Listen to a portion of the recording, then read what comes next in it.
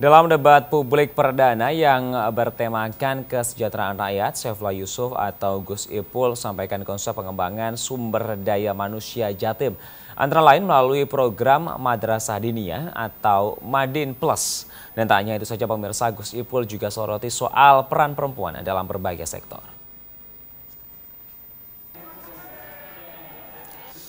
Debat publik tahap pertama yang dilakukan di gedung Diandra Convention Center dengan bertemakan kesejahteraan rakyat, pasangan Gus Ipul Putih menyoroti konsep pengembangan sumber daya manusia Jatim, antara lain melalui program Madrasah Diniyah atau Madin Plus. Gus Ipul mengatakan jika Madin yang terlahir dari rakyat, dibiayai rakyat, dan untuk rakyat telah mendapatkan dukungan APBD Provinsi Jawa Timur. Gus Ipul juga mengungkapkan jika APBD Jatim akan terus dialokasikan untuk Madin sebagai penunjang pendidikan agama bagi anak-anak. Meski begitu, Gus Ipul mengungkapkan karena waktu debat yang terlalu pendek sehingga dirinya peserta putih tak bisa menjelaskan secara gamblang, termasuk soal peran perempuan, pasalnya peran perempuan juga dianggap penting dalam segala sektor. Untuk itu Gus Ipul akan membuat musrembang perempuan untuk mengembalikan peran perempuan.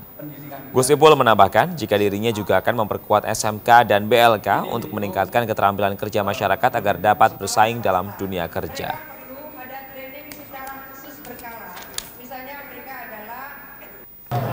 Terus terang memang waktunya sangat pendek, tidak memungkinkan untuk bisa menjelaskan secara detail program-program kami.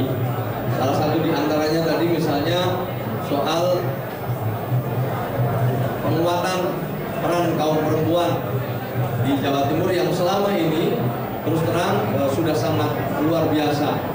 Berkali-kali Jawa Timur ini sebagai provinsi yang memperoleh penghargaan dari pemerintah pusat sebagai provinsi yang sangat peduli terhadap perempuan.